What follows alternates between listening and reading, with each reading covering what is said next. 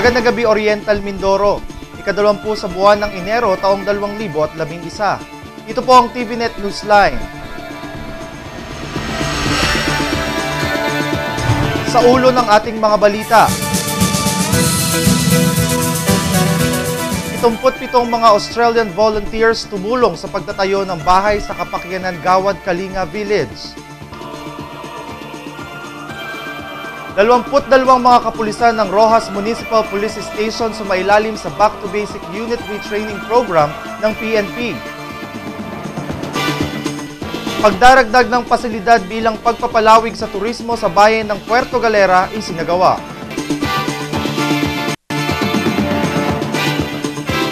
At sa detalye ng ating mga balita, bilang bahagi ng patuloy na pagbibigay ng seguridad sa mga Kalapenyo, kahapon ikalabing siyam sa buwang kasalukuyan nang magsagawa ng earthquake drill sa Adriatico Memorial School na pinamumunuan ng punong guro dito na si Nick Alcanieses at ang mga miyembro ng City Public Safety Department sa pangungunan ni Lovell Arago.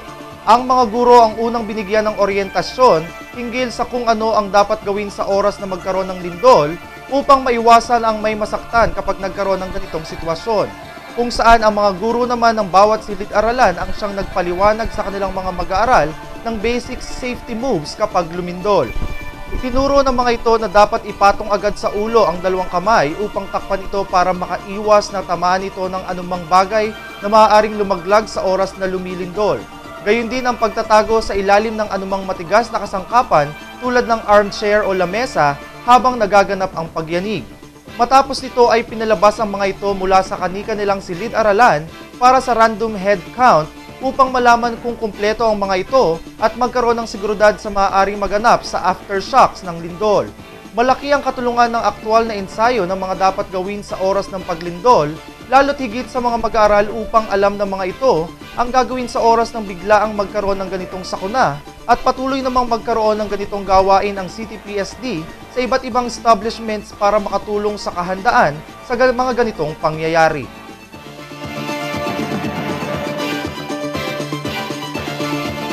Sa ibang balita, kahit kasagsagan ng lakas ng ulan ng ikalabing walo ng Enero, ay patuloy ang ginawang pagpapalawak ng kalahating metrong naiwang bahagi ng kalsadang dapat simentuhan sa Barangay Dulangan sa bayan ng Puerto Galera. Bahagyang nakaapekto sa daloy ng trapiko ang ginagawang pagtabag sa bahagi ng bundok kung saan halos lumubog sa putik ang gulong ng mga dumaraang motorista dito dahilan sa malakas ang naging buhos ng ulan, umaga pa lamang ng nabanggit na araw.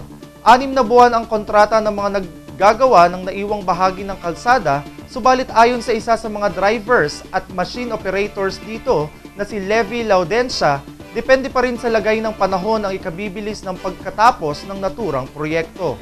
Bro, Depende sa panahon. Kasi ang, ang project namin dito, 6 months. Pero pagka panahon ay pangit, ay tatagal yan. Kasi hindi naman kami pwedeng mag-standby dahil tumatakbo, tumatakbo din ang ora namin. Kapag lumabas na ang mga batuhang bahagi ng bundok, ay saka naman isasagawa ang blasting dito na magiging dahilan ng pansamantalang pagsasara ng daan na susundan naman ng pagpapakongkreto ng mismong kalsada.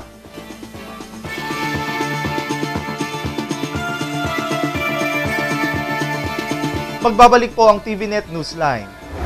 I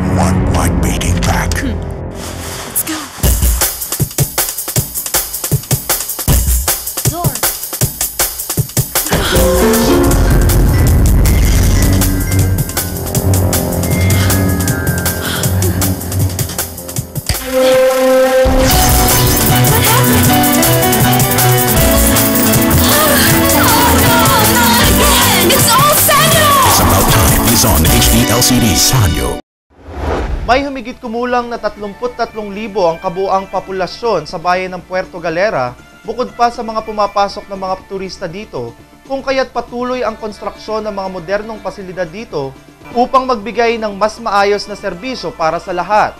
Kasalukuyang full blast ang konstruksyon ng tourism building sa bayan ng Puerto Galera na nagkakahalaga ng 2.8 million pesos. Ah, yan po yung itinatayong bagong tourism office na in partnership with PTA, DOT, and the local government. Of course, si Mayor Dolor yung nag-pursue nung, nung project. Siya yung nag-start, siya yung nag-follow. And it, now it's under construction. Inaasahang magiging malaking katulungan ito sa mas maayos at mabilis na serbisyong pangturismo sa nabanggit na bayan. Siguro will make it a point na the tourism office will really be a working office for the government and for the people of Puerto Galera since tourism is our prime industry. Sa huli, magsisilbi bagong mukha ng Puerto Galera ang makabagong mga pasilidad, ang pagpapanatili pa rin ng natural na kagandahan ang isa sa pinakamagandang pasyalan sa bansa ang dapat isaalang-alang hindi lamang ng pamunaan dito kundi rin ng lahat ng residente at bakasyonista dito.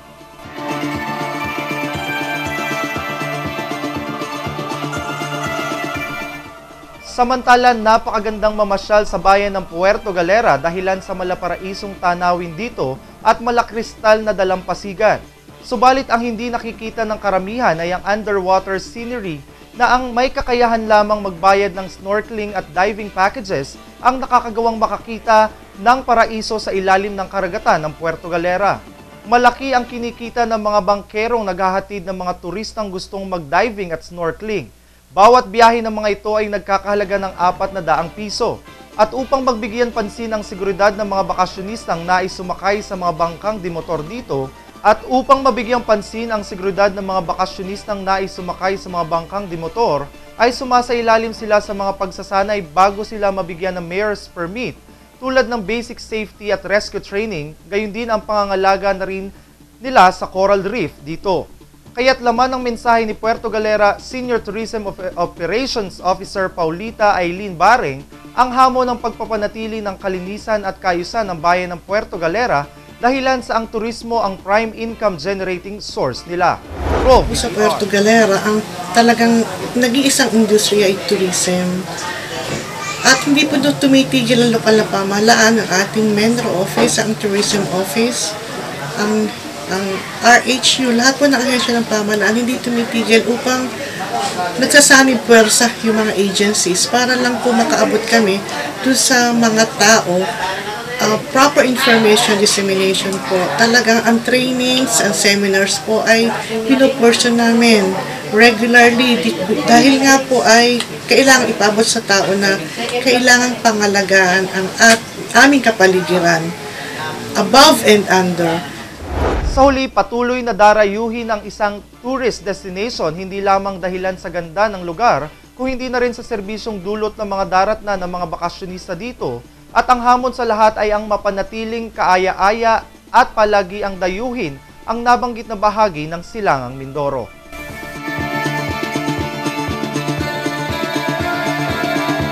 Antabayanan ng iba pang mga balita makalipas lamang po ang ilang paalala. Welcome to Monte de Oro Homes. With units designed to cater to the convenience and comfort of its residents, Monte de Oro Homes is a haven for countryside living. A perfect place for those who would want to combine green living with modern day facilities and amenities. Our model unit types Row House,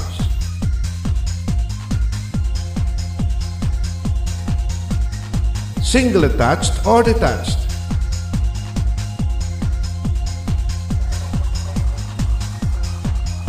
Townhouse. All units are fully finished upon turnover.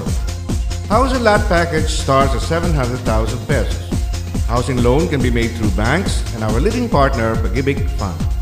With monthly amortization as low as 4,500 pesos or just 145 pesos a day. HLURB licensed to sell 21191. Owner and developer, Conseville Realty Development Corporation. Enjoy these amenities. And with a flood-free strategic location with close proximity to almost everything, it is surely a home for ideal family living.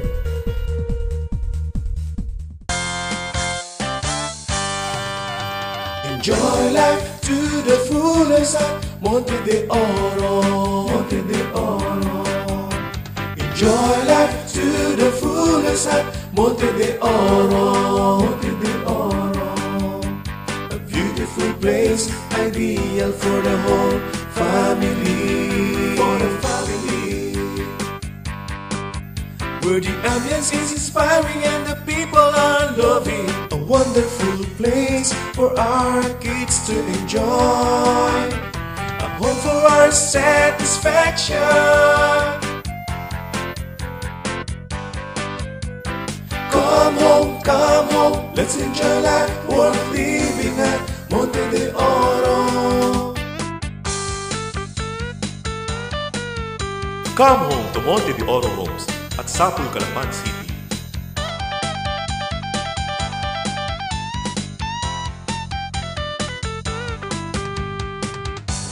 Sa pagpapatuloy ng ating mga balita, dahil sa sunod-sunod na pag-ulan na, na nararanasan sa buong lalawigan, hindi maiwasan na maapektuhan ng ilang mga lugar tulad na lamang ng bayan ng Victoria kung saan idinadaing ng punong bayan dito na si Mayor Alfredo Ortega Jr. ang masamang epekto ng nagaganap na mga pag-ulan sa kanilang bayan, lalong higit sa mga pananim na palay at prutas. Di, di dito nga, ang problema ngayon, sa tag-ulan na yan, eh, di yung mga pananim na palay na talagang naepektuhan at nasisira. At yun yan, yung, yung, yung mabini na bahan na yan. At yung, yung Antonino, yung may makataklailan, may malabo. Yun talagang normal na lang at iwan ng malaki na tubig eh. Pag hindi talaga uminit yan, talagang sa palagay ko, ay yung nangyari noong limang taon, mangyayari na naman. Na hindi basta bubunga yan. Ka, hindi tumuloy ang init. Aniya pa kung mananatili ang ganitong lagay ng panahon, ay inaasahan na nila na hindi magiging masagana ang ani ng kanilang mga magsasaka dahil sa epektong dulot ng labis na ulan sa mga palay. Dahil naman sa babago pa lamang nakakabawi mula sa pagkalugi ng mga prutasan noong mga nakaraang taon, kung saan ito lamang huling harvest season, muling naging mabunga ang mga prutas sa bayan ng Victoria. Hindi maiwasan ng nasabing opisyal na mag-alala dahil sa posibilidad na muling humina ang produksyon ng mga prutas dito. Sa huli, panalangin na lamang niya na gumanda ang lagay ng panahon, hindi lamang alang-alang sa kabuhayan ng kanyang mga kababayan, kundi ng iba pang mga Mindoreño na sa pagtatanim kumukuha ng ikabubuhay.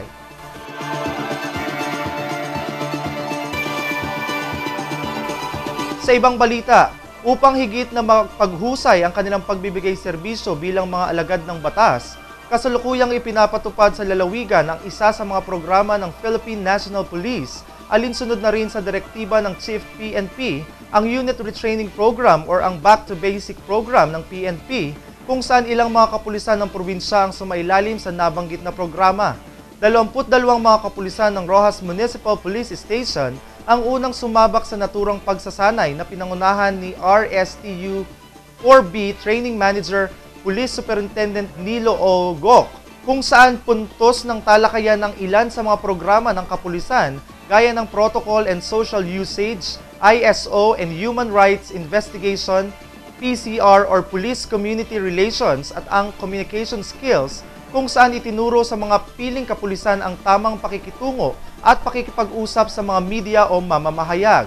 Ayon kay Police Inspector Georgette Cyrus Montoya, pitong araw sumailalim ang mga nabanggit na trainees sa layuning ipaalala sa mga ito ang kanilang sinumpaang tungkulin bilang mga alagad ng batas, gayon din upang hindi na maulit pa o madagdagan ang bilang ng mga pulis na naliligaw ng landas gaya na lamang ng mga nababalita sa kasalukuyan. Objective naman ng back to basic retraining from the word itself, di ba? Self-explanatory.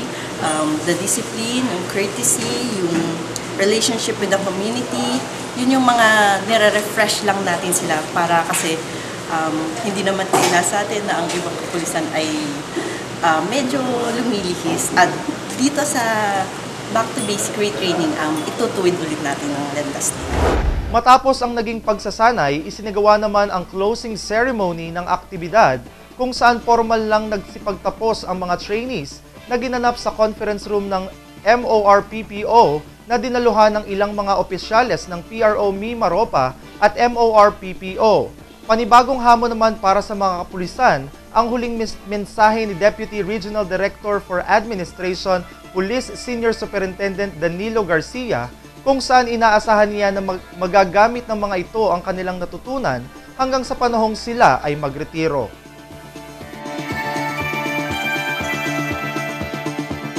Tampok ang iba pang mga balita sa amin pong pagbabalik. Bakit ka kasi kumabit? Alam mong di tama yan, di ba? Huwag ka nang gumamit ng pag-aari ng iba. Nakakaperwisyo ka sa mga legal na cable. Lumalabo ang signal nila. Mahiya ka naman, hoy. Illegal na cable mo, putulin na. Ano, gusto mo bang umabot pa sa kulungan? Umiwas ka na sa gulo tsaka skandalo. Huwag maging kabit. Magpakabit ng tama ngayon. Supported by PCTA. Mula nang itayo ang Kapakyanan Gawad Kalinga Village sa Barangay Poblasyon 3, bayan ng Victoria, malaki na ang naging pagbabago at pag-unlad sa pamumuhay ng mga nakatira dito na mababaka sa bawat tahanan dahil sa mga gamit na naipundar nila at magandang disenyo ng kanilang mga bahay. Sa ngayon, muling madadagdagan ang mga naninirahan dito kung saan tinulungan pa sila ng mga volunteers mula sa Australia na magtayo ng kanilang mga bahay. Si Mel Francisco magbabalita. Damang-dama ang diwa ng bayanihan sa Kapakyanan, Gawad Kalinga Village sa Poblasyon 3, bayan ng Victoria matapos na dumating ang may 77 mga Australian volunteers na silang naging katuwang ng mga taga rito sa pagtatayo ng mga bagong bahay para sa pitong pamilya. Karamihan sa mga ito ay may dugong Pinoy na bagamat sa Australia naninirahan ay nananatili namang taglay nila ang isa sa mga natatanging kaugalian ng mga Pilipino ang pagiging matulungin sa kapwa. Bagamat sanay sa maalwang buhay sa Australia, hindi kinakitaan ng anumang pagdadalawang isip na magpala ng buhangin, maghalo ng semento at iba pa ang mga kabataang ito na aliw na aliw sa pakikisalamuha sa mga residente ng Gawad Kalinga Village. Ayon kay Gawad Kalinga Regional Coordinator for Southern Tagalog by Linda Eman, ang naturang lugar ang napili nilang pagdalhan sa mga Australian volunteers dahilan sa isa ito sa mga nais nilang maging model village at buuan niya ang suporta at pakikiisa sa kanila ng lokal na pamahalaan. Victoria is um, I'm trying to to promote Victoria as a model town, designer town. Um, so since um, uh, Victoria is one of our in the enti- entire Mindoro province, Victoria is one of our model town, and where the best Gawad Kalinga. And the local government is very supportive, Mayor Ortega, and the Sangguniang Bayan. Uh, for Victoria, the barangay captains is supportive. Um, the, the, the kapitbahayan, which is the beneficiary, they, they really participate for, for what we uh, want them to, you know, for the, for the project. So that's why we want, I want Victoria. Aniya pa hindi lamang sa pagtatayo ng bahay para sa mahihirap na katuon ng programa ng Gawad Kalinga, kundi maging sa paghubog sa mga kabataan, pangangalaga sa kanilang kalusugan, turismo, values formation, kapitbahayan at green kalinga, kung saan hangad nila na hindi lamang matulungan ng mga ito kundi gawin rin silang mabubuti at responsableng mga mamamayan. Ayon naman sa isa sa mga leader ng mga volunteers mula sa Australia na si Paulo Dagio, hindi matatawaran ang karanasan nila sa pagtulong sa mga benepisyaryo ng Gawad Kalinga. very, very uh, rewarding. Very rewarding. Um, we feel very, very blessed to be given the opportunity to work with the less fortunate for, for our poor brothers and sisters, especially from a place where, um, where it's a lot different in Australia.